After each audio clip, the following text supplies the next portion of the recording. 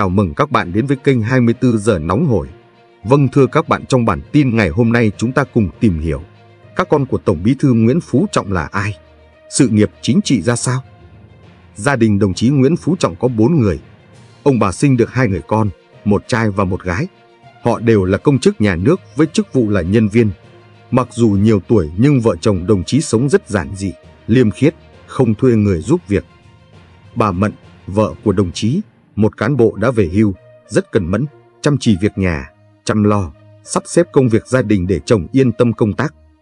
Hai người con của đồng chí đã có gia đình riêng, bản thân các cháu và con dâu, con rể có chuyên môn rất giỏi. Hiện họ làm công việc tốt ở những đơn vị bình thường và với những chức vụ bình thường. Quan điểm của đồng chí Nguyễn Phú Trọng là công việc của các con, các con phải tự lo lấy, tự chịu trách nhiệm với bản thân và tự khẳng định mình trong công việc. Trong công tác công vụ, đồng chí nhận đúng mức lương mà nhà nước chi trả, nhất quyết không nhận thêm một xu, một hào nào ngoài chế độ. Bà Ngô Thị Mận là phu nhân của ông Nguyễn Phú Trọng, cố Tổng Bí thư Ban chấp hành Trung ương Đảng Cộng sản Việt Nam trong nhiệm kỳ của ông từ năm 2011 đến ngày 19 tháng 7 năm 2024.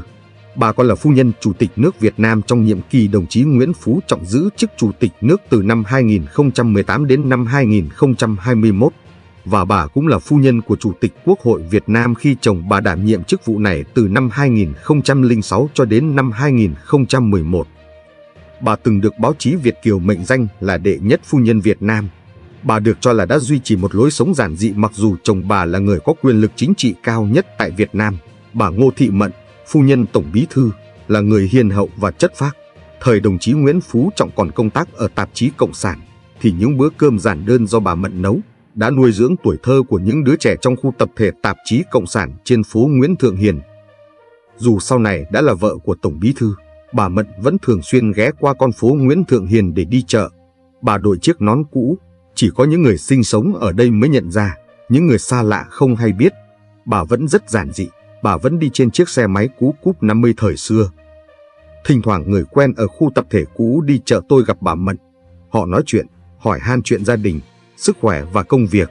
Mọi gia đình dù không còn là hàng xóm, nhưng vẫn gần gũi và thân tình. Trong đám cưới con trai, Tổng bí thư Nguyễn Phú Trọng khi đó là Chủ tịch Quốc hội, chỉ tổ chức nội bộ gia đình, mời hàng xóm ở phố Nguyễn Thượng Hiền và rất ít bạn bè. Những hộ dân sinh sống ở khu tập thể tạp chí Cộng sản là một trong số ít khách mời đến dự đám cưới được tổ chức tại Cung Văn hóa Việt Xô. Gặp lại những người hàng xóm cũ tại đám cưới con trai, đồng chí Trọng dành những cái ôm ấm áp và bắt tay thăm hỏi ân cần. Từ ngày chuyển nơi ở khác, mọi người cũng thỉnh thoảng đến thăm hỏi sức khỏe gia đình nhau. Tóm tắt về tiểu sử của đồng chí Nguyễn Phú Trọng như sau. Cố Tổng Bí thư Nguyễn Phú Trọng sinh ngày 14 tháng 4 năm 1944 tại thôn Lại Đà, xã Hội Phụ, huyện Đông Ngàn, tỉnh Bắc Ninh, nay thuộc thôn Lại Đà, xã Đông Hội, huyện Đông Anh, Hà Nội, tại một gia đình bần nông và là con út trong số 4 anh chị em. Theo thông tin từ Ban Bảo vệ, chăm sóc sức khỏe cán bộ Trung ương, ông qua đời vào lúc 13 giờ 38 phút ngày 19 tháng 7 năm 2024 tại Bệnh viện Trung ương Quân đội 108 sau thời gian lâm bệnh. Về học vấn của ông, từ năm 1957 đến năm 1963, ông học trường cấp 2 và cấp 3 Nguyễn Gia Thiều tại huyện Gia Lâm, nay thuộc quận Long Biên, Hà Nội. Năm 1963, Ông theo học khoa văn tại Trường Đại học Tổng hợp Hà Nội và tốt nghiệp bằng cử nhân ngữ văn. Tháng 8 năm 1973, ông Nguyễn Phú Trọng được cử đi học lớp nghiên cứu sinh về kinh tế chính trị tại trường Nguyễn Ái Quốc, nay là Học viện Chính trị Quốc gia Hồ Chí Minh. Khóa học sau đó đã kết thúc vào tháng 4 năm 1976. Từ tháng 9 năm 1981 đến tháng 8 năm 1983, ông tiếp tục được cử sang Liên Xô làm nghiên cứu sinh và bảo vệ thành công luận án phó tiến sĩ ở bộ môn khoa học lịch sử tại Viện Hàn Lâm Khoa học Xã hội thuộc Trung ương Đảng Cộng sản Liên Xô. Năm 1992, đồng chí Nguyễn Phú Trọng đã được nhà nước phong hàm phó giáo sư và vào năm 2002 ông được phong hàm lên giáo sư chuyên ngành xây dựng đảng. Tóm tắt về sự nghiệp chính trị của ông như sau. Vào ngày 19 tháng 12 năm 1967, đồng chí Nguyễn Phú Trọng đã chính thức trở thành đảng viên của Đảng Lao động Việt Nam. Từ tháng 12 năm 1967, ông công tác tại tạp chí học tập, tiền thân tạp chí Cộng sản, một trong ba cơ quan tuyên truyền quan trọng nhất của Đảng Cộng sản Việt Nam. Tháng 8 năm 1983, Sau khi bảo vệ thành công luận án tiến sĩ tại Liên Xô, ông Nguyễn Phú Trọng từ Liên Xô về nước, tiếp tục công tác ở ban xây dựng đảng của tạp chí Cộng sản. Sau đó ông được đề bạt làm phó trưởng ban vào tháng 10 năm 1983 rồi trưởng ban vào tháng 9 năm 1987, ủy viên ban biên tập tháng 3 năm 1989, phó tổng biên tập tháng 5 năm 1990 và tổng biên tập tháng 8 năm 1991. Từ ngày 20 đến ngày 25 tháng 1 năm 1994, tại hội nghị đại biểu toàn quốc giữa nhiệm kỳ của Đảng Cộng sản Việt Nam họp ở Hà Nội, ông đã cùng với 19 người khác được bầu bổ sung vào Ban chấp hành Trung ương Đảng Cộng sản Việt Nam khóa 7 nhiệm kỳ 1991 đến 1996. Tháng 8 năm 1996, đồng chí Nguyễn Phú Trọng được điều làm Phó Bí thư Thành ủy Hà Nội kiêm trưởng Ban Cán sự Đại học, phụ trách công tác tuyên giáo của Thành ủy. Cũng vào tháng 3 năm 1998, ông lên làm Phó Chủ tịch Hội đồng Lý luận Trung ương, phụ trách công tác tư tưởng, văn hóa và khoa giáo của Đảng Cộng sản Việt Nam.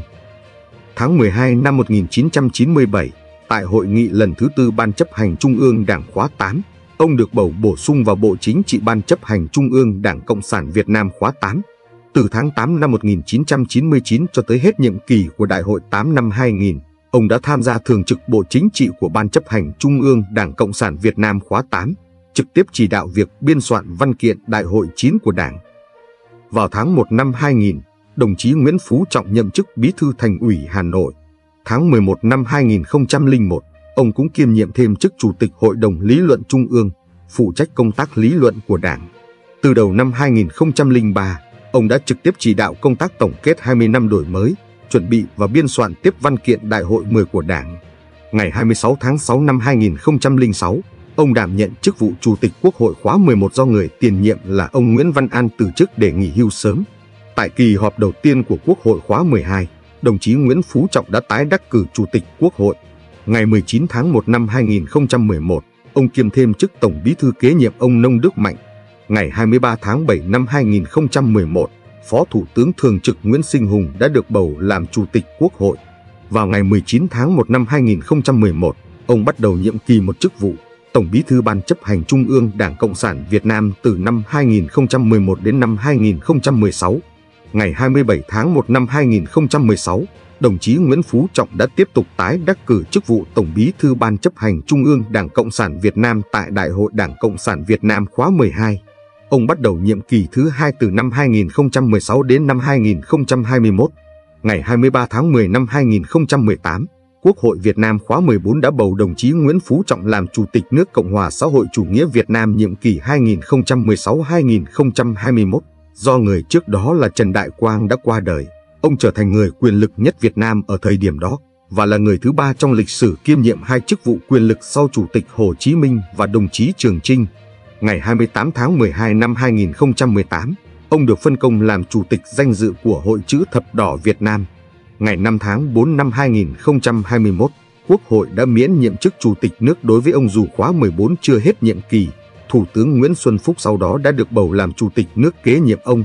Đồng chí Nguyễn Phú Trọng từng là Chủ tịch nước có nhiệm kỳ ngắn nhất Việt Nam cho đến khi sau này, ông Phúc thôi chức Chủ tịch nước vào ngày 18 tháng 1 năm 2023, thì ông Phúc là Chủ tịch nước có nhiệm kỳ ngắn nhất Việt Nam. Vào ngày 31 tháng 1 năm 2021, ông Nguyễn Phú Trọng trở thành trường hợp đặc biệt tái đắc cử chức vụ Tổng Bí thư Ban chấp hành Trung ương Đảng Cộng sản Việt Nam nhiệm kỳ thứ ba liên tiếp tại Đại hội đại biểu toàn quốc lần thứ 13 Đảng Cộng sản Việt Nam.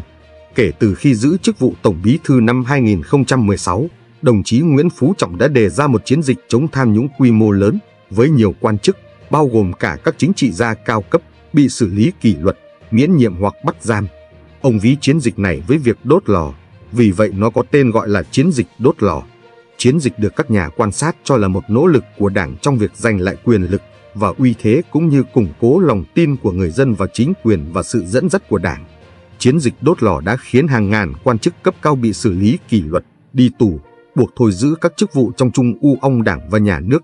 Trong nhiệm kỳ thứ ba, ông Trọng được cho là đã đẩy mạnh chiến dịch đốt lò của mình. Liên tiếp các quan chức bị bắt và bị khai trừ khỏi Đảng nổi bật như ông Tô Anh Dũng trong bê bối chuyến bay giải cứu, hay trong bê bối Việt Á đã có hơn 102 bị can trong đó có 3 người của Ủy viên Trung ương Đảng là Nguyễn Thanh Long, Chu Ngọc Anh và Phạm Công Tạc. ông Nguyễn Trường Sơn Thứ trưởng Bộ Y tế đã phải xin thôi việc sau khi bị kỷ luật vì bê bối này. Ngày 30 tháng 12 năm 2022, hai phó thủ tướng là Vũ Đức Đam và Phạm Bình Minh đã thôi làm ủy viên Trung ương Đảng. Cả hai cũng thôi làm phó thủ tướng vào ngày 5 tháng 1 năm 2023 vì hai ông được cho liên quan đến tham nhũng tiêu cực. Chủ tịch nước Nguyễn Xuân Phúc đã phải từ chức trong chiến dịch đốt lò của ông Trọng. Trong buổi gặp mặt các cử tri vào ngày 15 tháng 10 năm 2022, ông nói các bác chờ mấy vụ sắp tới sẽ làm. Có vụ tổn tích lâu rồi, nổi tiếng rồi, thậm chí chạy trốn đi rồi nhưng tôi bảo trốn cũng không thể trốn được. Ngồi đấy chờ mà xem trốn có được không? Ai bao che cũng không được, ai bao che xử lý người bao che. Làm quyết tâm, quyết liệt. Cuộc đấu tranh phòng chống tham nhũng của ta được nhân dân rất hoan nghênh, thế giới nể phục. Ông từng đảm nhiệm chức vụ Ủy viên Bộ Chính trị, Tổng Bí thư Ban chấp hành Trung ương Đảng Cộng sản Việt Nam khóa 13, Bí thư Quân ủy Trung ương. Ngoài ra ông còn giữ một số chức vụ khác bao gồm Ủy viên Thường vụ Đảng ủy Công an Trung ương, trưởng Ban chỉ đạo Trung ương về phòng chống tham nhũng tiêu cực, đại biểu Quốc hội Việt Nam khóa 15 nhiệm kỳ 2021-2026 và là một trong những đại biểu thuộc đoàn đại biểu Quốc hội thành phố Hà Nội. Trước đó, ông cũng từng là Chủ tịch Quốc hội thứ 9 của nước Cộng hòa xã hội chủ nghĩa Việt Nam từ năm 2006 đến năm 2011 và kiêm nhiệm chức vụ Chủ tịch nước thứ 10 của nước Cộng hòa xã hội chủ nghĩa Việt Nam từ năm 2018 đến năm 2021. Vâng thưa các bạn, bản tin của chúng tôi đến đây là kết thúc. Các bạn hãy đăng ký kênh để nhận được những thông tin mới nhất